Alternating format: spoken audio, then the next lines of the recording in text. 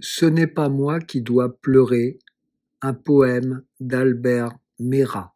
Ce n'est pas moi qui dois pleurer, et ce n'est pas moi qu'il faut plaindre. Je puis encore t'adorer, l'oubli ne saurait pas m'atteindre. C'est toi bientôt qui t'en iras, ne sachant plus comment on aime, jeter hélas en d'autres bras le blanc fantôme de toi-même.